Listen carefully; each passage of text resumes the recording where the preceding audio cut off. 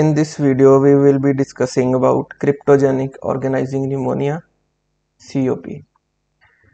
First of all, clinical features. Age group is 50 to 60 years.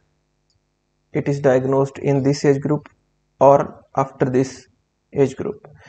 Present as subacute flu-like illness with cough, dyspnea, fever and fatigue.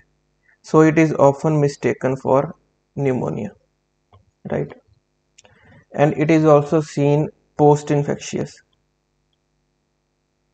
in many of the cases that there is a history of preceding uh, upper respiratory or lower respiratory infection and after that the signs and symptoms of COP appear.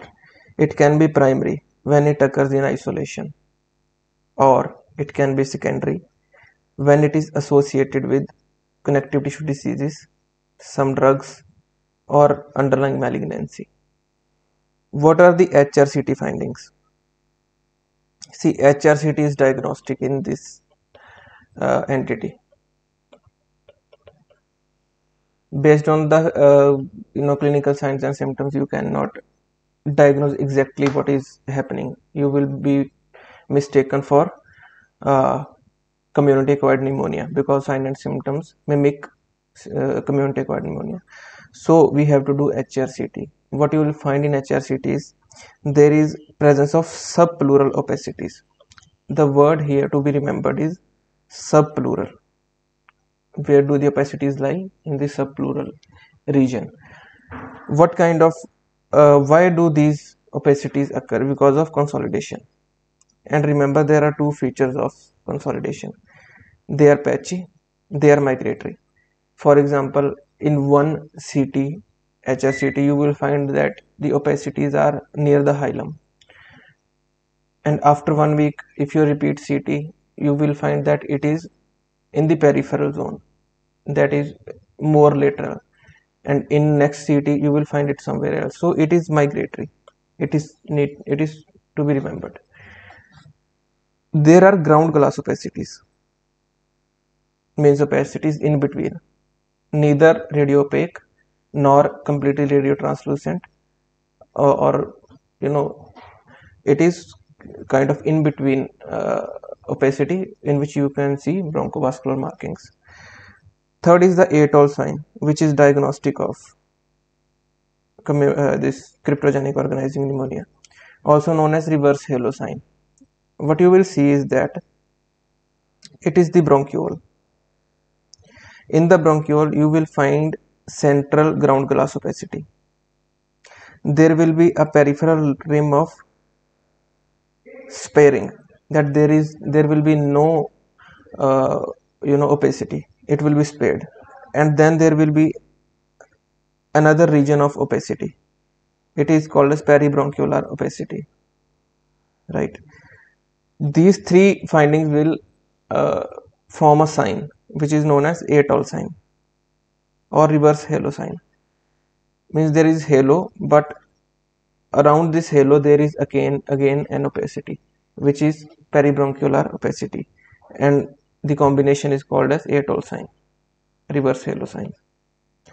Histopathological examination. Two things need to be remembered. Patchy consolidation. It is not diffuse remember. It is patchy. You will see it either perihilar or more towards the periphery. And obviously these are subpleural only. Second is the Masson bodies. Masson bodies are polypoid plugs of loose organizing connective tissue within the respiratory bronchiole. Not with but within. Within the respiratory bronchioles alveolar ducts and even alveoli right? So there will be polypoid plugs of loose organizing connective tissue which is known as Masson bodies.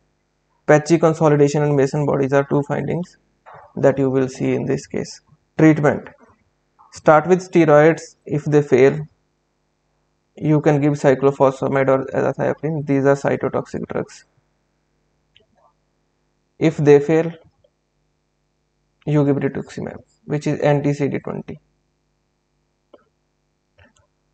biological. Right. So this is the treatment. Steroids cytotoxic rituximab. To recap cryptogenic organizing pneumonia. Age group 50 to 60 subacute flu like illness which can be mistaken for pneumonia. Can be primary occurring uh, when it occurs in isolation can be secondary associated with CTDs drugs malignancy. HRCT will show subpleural opacities ground glass opacities and atoll sign. Histopathological examination patchy consolidation Masson bodies within the respiratory bronchioles. Treatment steroids cytotoxic rituximab one after the other. That is all. Thank you for your patient listening